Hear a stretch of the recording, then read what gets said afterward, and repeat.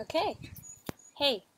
Um, it's Friday, I think, and uh, I just wanted to jump on really quick and share something that I don't know. I thought was pretty neat. Um,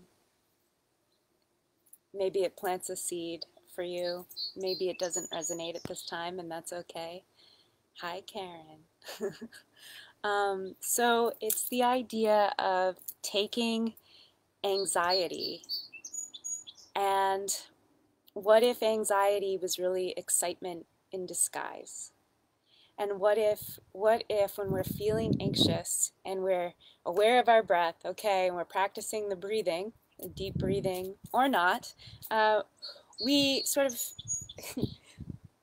reframe the anxiety into excitement. What if it's excitement? What if it's excitement in disguise? And what would that mean? Um, you know, there's a lot to be excited for.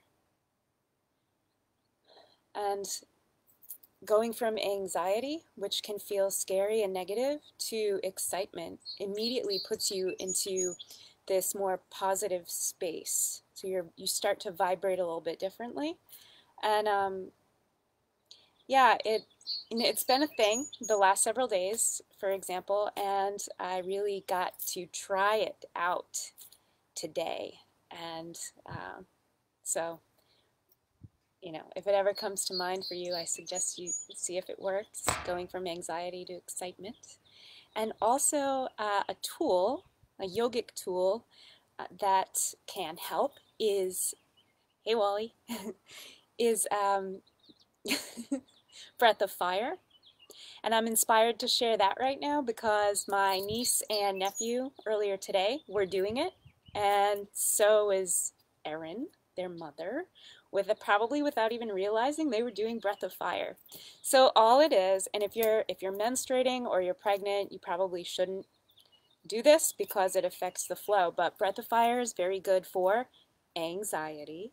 Um, it's an equal inhale, exhale, uh, sniff breath. So it's not a complete breath. It it's like this.